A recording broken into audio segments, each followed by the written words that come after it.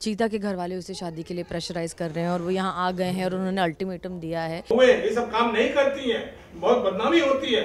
और जो कैरेट है किसका भाई वो भी सरासर झूठ बोल रही है। कोई इसका भाई भाई नहीं आया था। अरे कितने प्यार से कितने दुलार से इसको खाना खिलाए रहे हम। तो चीता क्या कर रहा है कि दो सिचुएशंस को संभालने की कोशिश कर रहा है और बीच में कहीं उसने गुफअप करके पूरा रायता फैला दिया है। कहते हैं ना कि सेवक से उसके मालिक का। शिष्य से उसके गुरु का और पुत्र से उसके पिता का पहचान होता तो मैडम देखिए मैं आपके सामने खड़े हुए तो अपने चीता का दूँगी आपको देख कर लगता है मैडम कि हम कभी भी किसी महिला के साथ ऐसा कर सकते हैं? ऐसा करने के बारे में सोच भी सकते हैं मैडम? चीता बड़ा परेशान चल रहा है आजकल क्योंकि मैंने उसको एक काम दिया था कि भाई चोरनी ढूंढनी है जो वो ढूंढ नहीं पाया। मैडम आपकी अल्टीमेटम दी थी ना कि चोरनी को पकड़ कर लाओ नहीं तो नौकरी से जाओ। हाँ? तू चोरनी तो निकल गई हाथ से।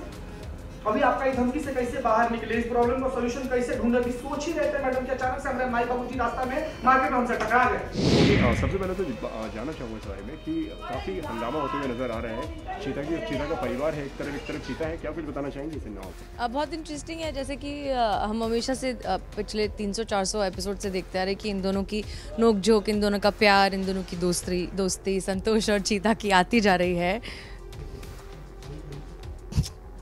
इन दोनों की दोस्ती। प्यार यहाँ है, इन दोनों की नोक झोंक सब आता जा रहा है।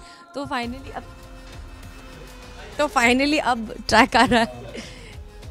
ऐसे तो फाइनली अब ये ट्रैक आ रहा है कि चीता के घर वाले उसे शादी के लिए प्रेशराइज कर रहे हैं और वो यहाँ आ गए हैं और उन्होंने अल्टीमेटम दिया है। और हो सकता है शायद इसके ज़रिए पता चलेगा कि संतोष के मन में उसके लिए क्या है। अब आगे कैसे अनफोल्ड होगा एग्जैक्टली exactly तो मुझे नहीं पता बट बहुत अच्छा लग रहा है कि ये फोकस जो है कंप्लीटली उन दोनों पर है and both are brilliant actors man and and and I and I love their I love their chemistry I love them individually as well but I love them together a lot more and ये एक different track जो है audience को बहुत interesting लगेगा। कितना हसीना करिश्मा हसीना करिश्मा करोगे। This is gonna be very interesting because ये बहुत क्यूट लगते हैं दोनों। सो रोशनी की रोशनी की अगर बात करूँ तो रोशनी भी एक इल्ज़ाम लगाती हुई आ रही है। परिवार पे चीता इसमें क्लियर कर रहे हैं। क्या कुछ कहना चाहेंगे तो चीता क्या कर रहा है कि दो सिचुएशंस को संभालने की कोशिश कर रहा है और बीच में कहीं उसने गुफअप करके पूरा रायता फैला दिया है। अब बाकी मैं तो और बता नहीं सकती ना। पहले तो इमोशनल है या आपके हसीना के लिए कि देखा जाए तो काफ़ी इमोशनल लाइंस दे रहे हैं वो एक तरफ़ चीता है एक तरफ़ नो आई थिंक इस इस वाले ट्रैक में जो है हसीना और करिश्मा दोनों बहुत न्यूट्रल हैं। Both of us have taken a back seat okay सबसे पहले तो चीता आज काफ़ी परेशान नज़र आ रहे हैं, अगर चीता की अगर बात की जाए तो किस तरीके से समझाने वाली चीता बड़ा परेशान चल रहा है आजकल क्योंकि मैंने उसको एक काम दिया था कि भाई चोरनी ढूंढनी है जो वो ढूंढ नहीं पाया।